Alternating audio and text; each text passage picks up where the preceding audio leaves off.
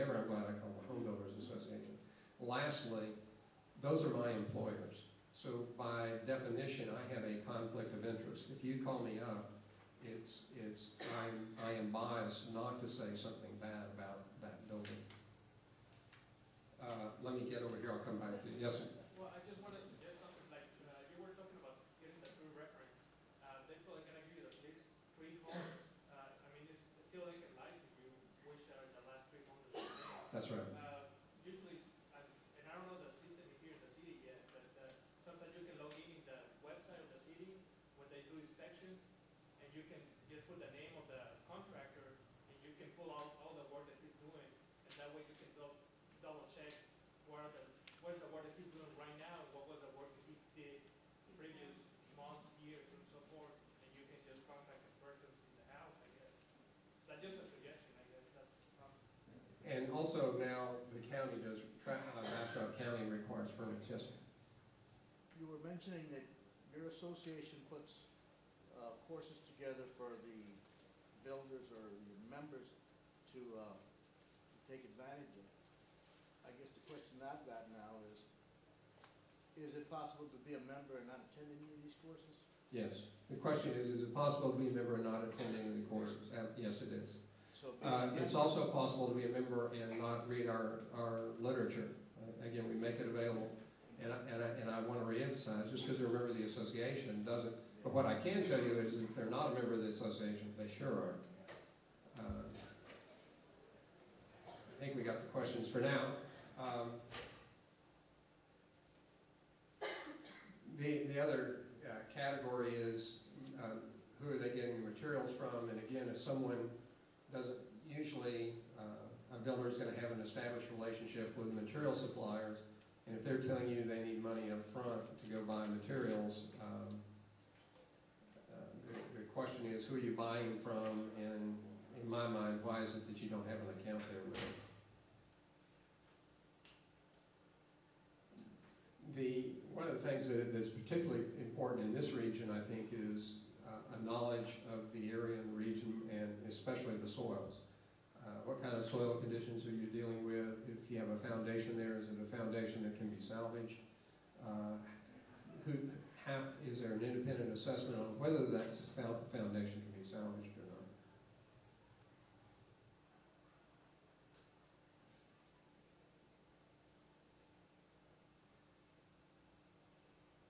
The uh, last bullet point on here is arrange for building permit if needed. Again, if you're in the city of Bastrop, you're gonna need a city permit. If you're in the county, again, the builder is required to get a building permit. And he's gonna be, they will be required to have inspections. The, again, I mentioned earlier, is there a warranty? Uh, uh, It, previously, there was, there was a Texas Residential Construction Commission that outlined and required a warranty.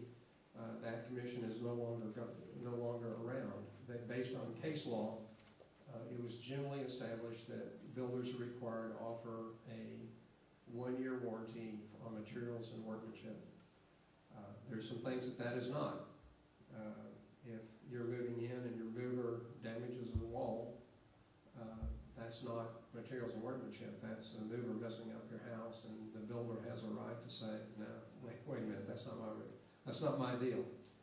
Uh, But, uh, again, case law said, would indicate in Texas, and it's no longer in statute, that there is a ten-year warranty period on the foundation and uh, st- structural materials, which is the framing.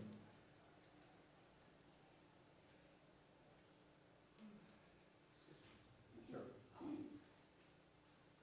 You were talking about warranties and, and, and, uh, materials and this sort of thing.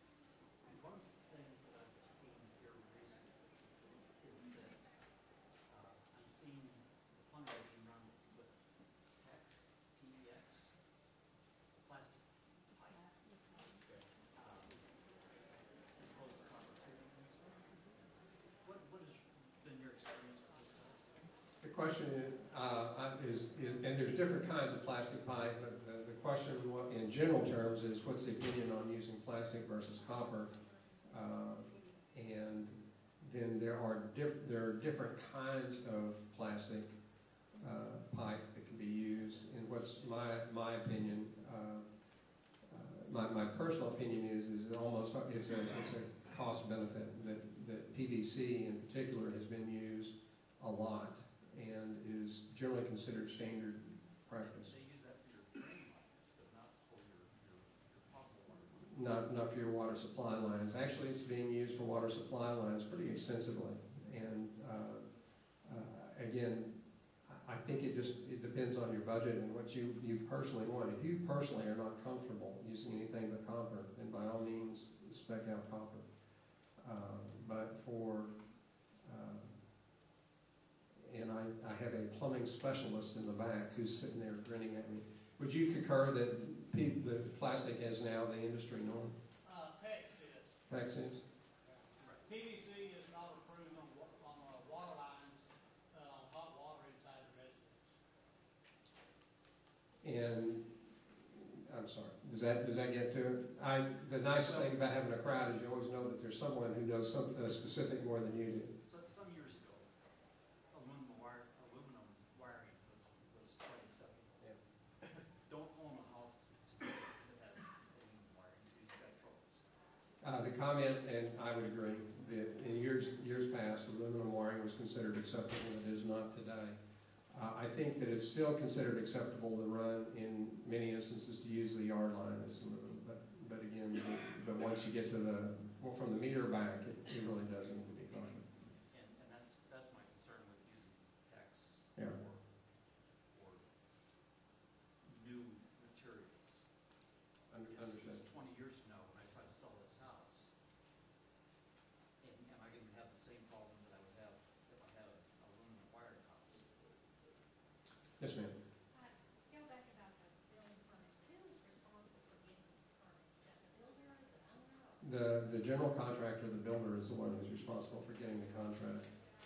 And again, my just word of caution is the builder doesn't, I'm sorry, it's the one who's responsible for getting the permit. My word of caution is if they don't even know they need to get a permit, do they know what they're doing?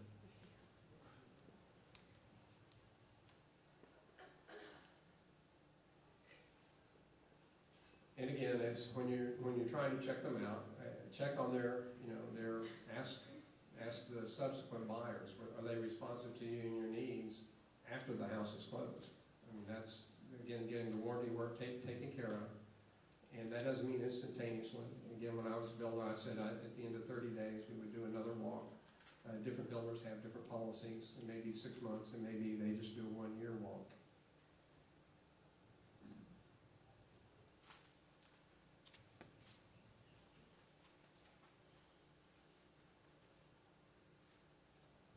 I'm not gonna read slides, read the slides to you that insult your intelligence, since you can't read, but I do wanna pick up on facilitate and encourage communications. Again, I think that's an important part when you're getting ready to hire someone, is how well do you communicate with them?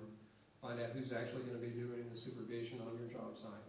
Find out what their rules and requirements are on you commu- communicating with the staff or the on-site staff. See if there are any rules, limitations, requirements on your ability to visit the job.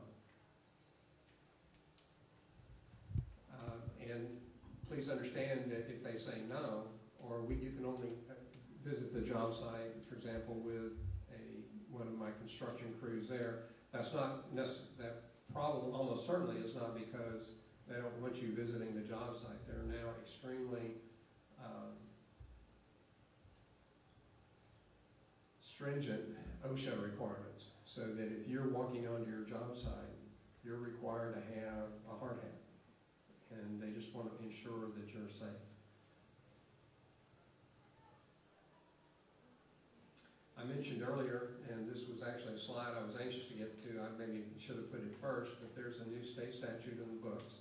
It was really designed for the hurricane areas, but it's, it says that if you are in a, in a disaster remediation, uh, doing disaster remediation, for that, whether that's remodeling or, or new construction, uh, you cannot require money up front.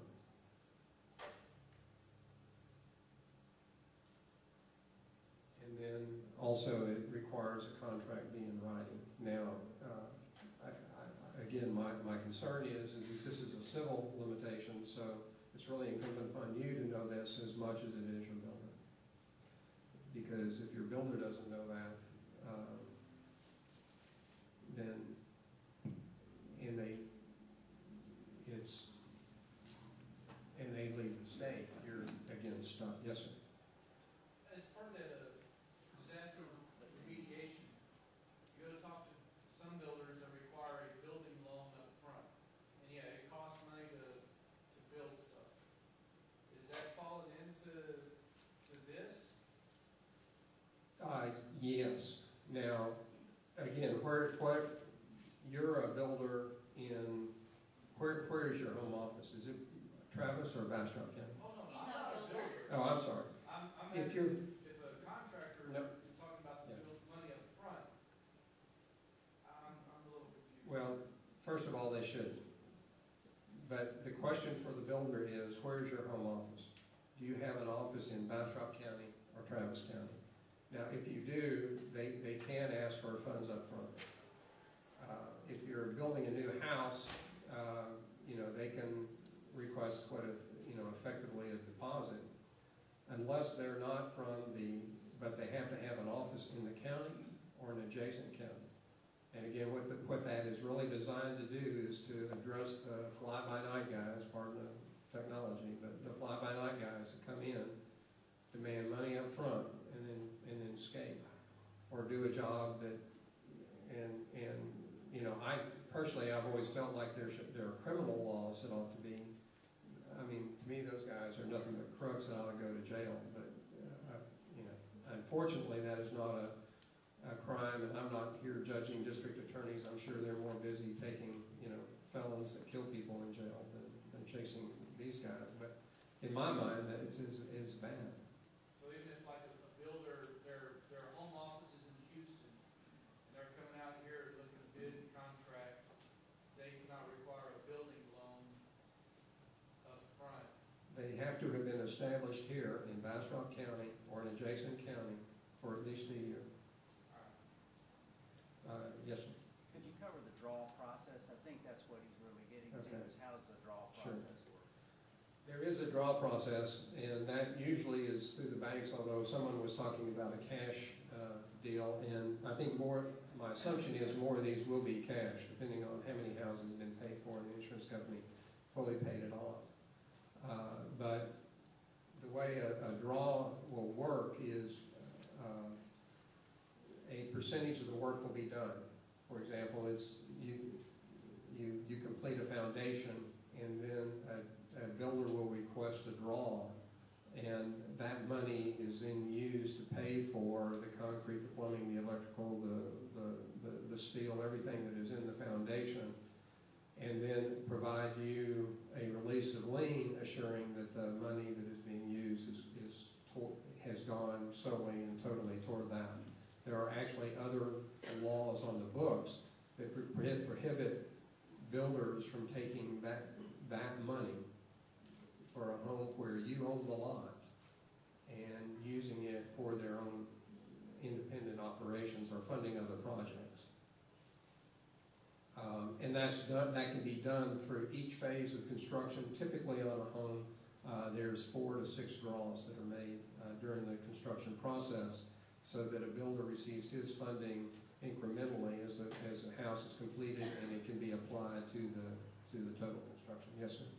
As I mentioned earlier, we were looking at cash, and we were talking to the builder, and they were asking for twenty, sixty, forty percent. Is that, Twenty, sixty, twenty. oh, yeah, twenty, sixty, twenty, I'm sorry. Twenty percent at foundation, Twenty. twenty percent down? It's a remodel, Okay. and so we're talking to the contractor, and we said, look, wanting to pay cash, so it's not us going through the bank and doing draws and all that. But we want to establish up front with you how we're gonna pay. And that was what their numbers were that they threw us. Twenty percent up front, sixty-five in the middle of the job, and twenty at the end. Yeah, I'm, I'm really reluctant to get into contract negotiations there. I think that's one of the things you, you need to weigh and potentially talk to one or two other. But you Folks. can't tell me if that's standard or reasonable, or I'm not aware of that being standard. what is standard? Um, I, what I again, I'm more used to, uh, it just being done as a percentage of the amount complete in the work that is done on site. So if you were fifty percent through, then fifty percent would be paid at that point. Uh, Again, there's extensive lien law on the books, uh, where, uh, uh, for, to, to, uh, where, again, if I'm out providing materials on your house and I don't get paid, even though it's through a third-party contractor, I can lien your house. Now, because it's a homestead, I can't foreclose on it, but it can, it, for example, it would affect your credit. So, uh, normally, uh, the normal is, is that you will draw as a percentage of the completion, uh, and then oftentimes there'll be a, a- a retainage amount, for lack of a better term. Uh, Typical retainage for subcontractors is ten percent, uh, but a, a, a small amount is usually held toward, till final completion. Again, for new home construction, it's, it's different because you then go with the term substantially complete. And when a house is substantially complete, then the, the, the final full amount is, is released.